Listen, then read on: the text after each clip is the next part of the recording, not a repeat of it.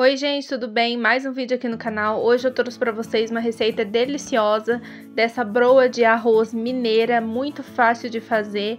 Ela não vai farinha de trigo, então ela é sem glúten, fica uma delícia. Eu espero muito que vocês gostem dessa receita.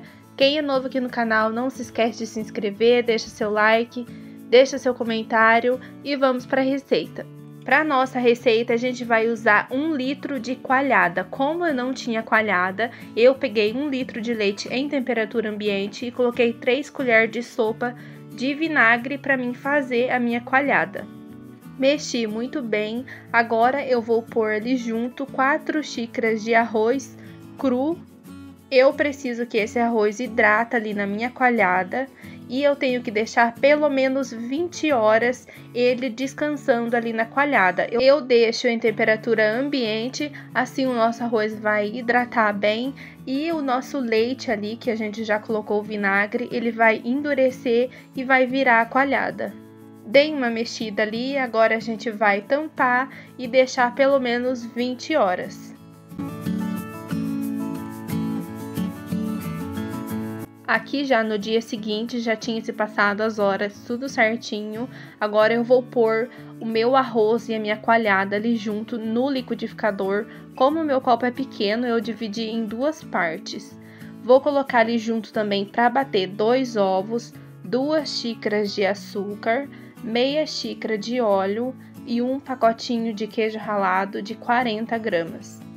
Você pode colocar também o queijo curado, até uma xícara, quanto mais melhor. Como eu não tinha, eu usei o queijo ralado de pacotinho mesmo. Agora eu vou bater todos esses ingredientes bem batido até triturar bem o nosso arroz por pelo menos uns 5 minutinhos. Depois de bem batido, eu bati ali o restante, a outra parte que eu tinha dividido. Agora eu vou pôr tudo em uma tigela para mim conseguir misturar e por fim, eu vou colocar uma colher de sopa de fermento royal.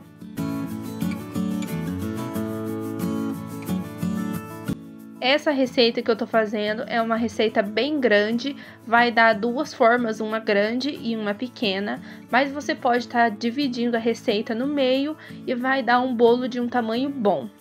Agora eu vou passar a minha massa para uma forma untada e enfarinhada e levar para assar em forno pré-aquecido a 180 graus. No meu forno ficou 50 minutos assando. Eu deixei assando até ficar bem douradinho nas lateral.